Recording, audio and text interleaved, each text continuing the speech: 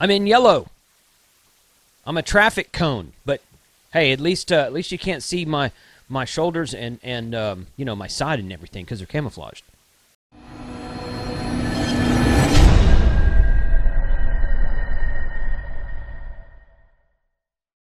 Okay, so so I get this question a lot um, since putting up uh, that video right there. Where is that right?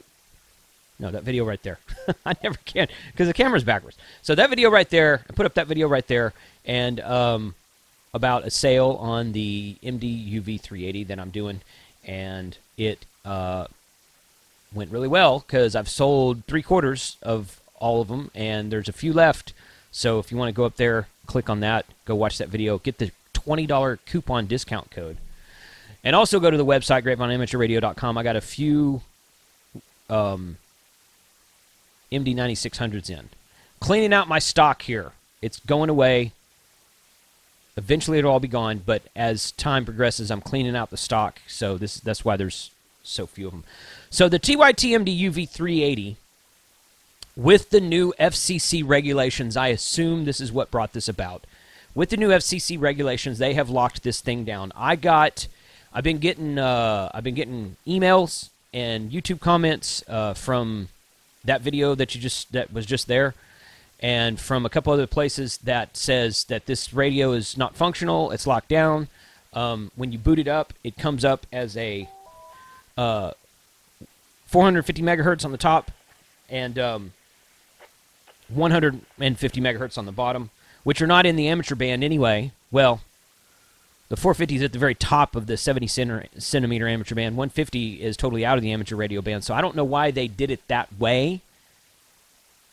But here's how you get around that it's not broken, it's fine.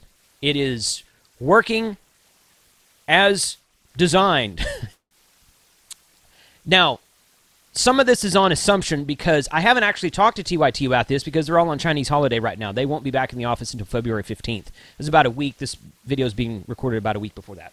So I think that the reason they did that is to um, assimilate themselves to the new FCC regulations regarding out of band transmissions for Chinese radios coming into the United States. Okay. If that's not the reason they did it, then I have no freaking clue why they did it. So there's two there's two things you can do. This radio right here is on firmware. I'm going to go down here.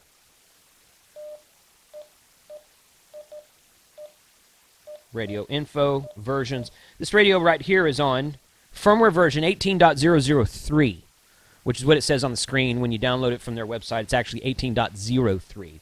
So this version and later, I suspect, will all be the same. This should apply.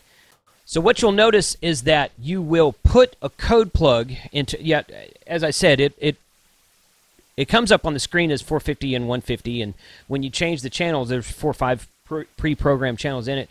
it. They're all set to that that same frequency. So when you shoot your code plug into it, the stuff will come up on the screen correctly with whatever you've named your zone and whatever you've named your code plugs.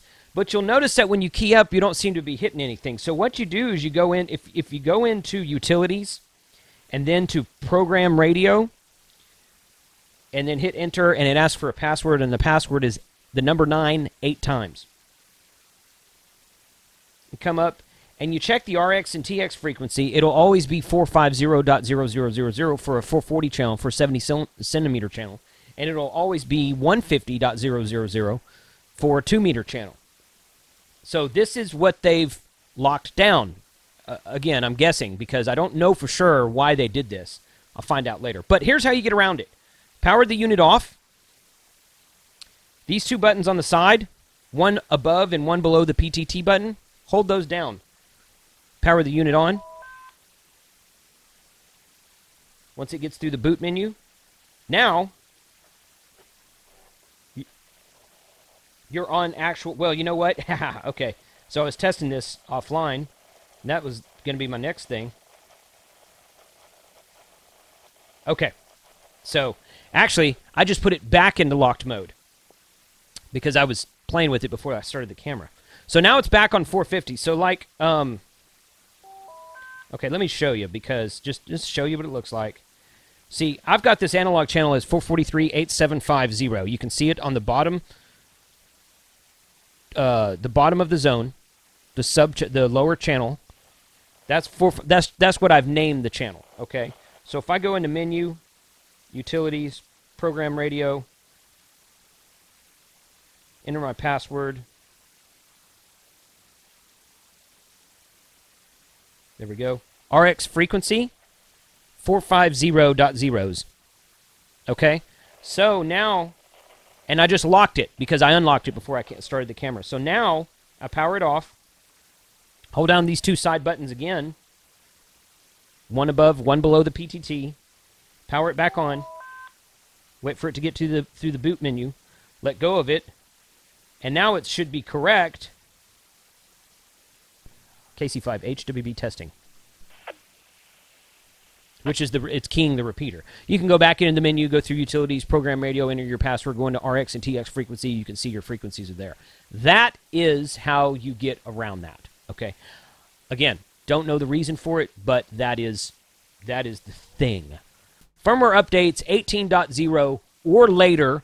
Um, if you're watching this video a couple months from now, six months from now having the same issue and you're like well i've got version uh, 19 something or 20 something or whatever so that does, it's probably going to be everything after i'm guessing it's going to be everything after 18.03 because i'm guessing that the reason they did this was because of the new fcc regulations to lock out people from outside of the amateur radio band which doesn't make sense because 150 megahertz is not in the amateur radio band.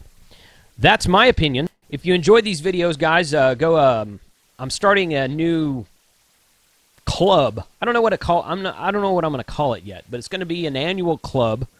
$99 a year. Um, I'll be offering $69 uh, discounts of down to $69 for veterans and students for just um, private one-on-one videos. Uh, private videos, and actually, what we're going to do is start out conference calls. So right now, I just have it up on Patreon. If you go to my page, patreon.com forward slash ham radio, You'll see on the right hand side, you'll see all the tiers tier one, tier two, tier three of how you can uh, sign up and support my show. All the ones that are on the tier of $8.25 per month, which 825 a month times 12 months in the year equals $99.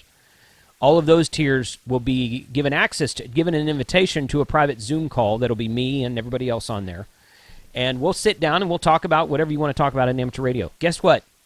Knowledge sharing is is an important part of amateur radio. So go to patreon.com forward slash ham radio. You can sign up there. You can get invited to an exclusive monthly Zoom call, monthly video conferencing call through an app I've been using called Zoom, uh, where we can just sit down and talk about amateur radio. And eventually, I want to grow that into some sort of club, Ham Radio 2.0 club.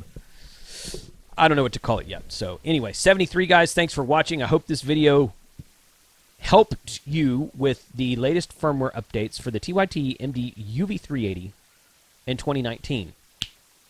Catch you next time.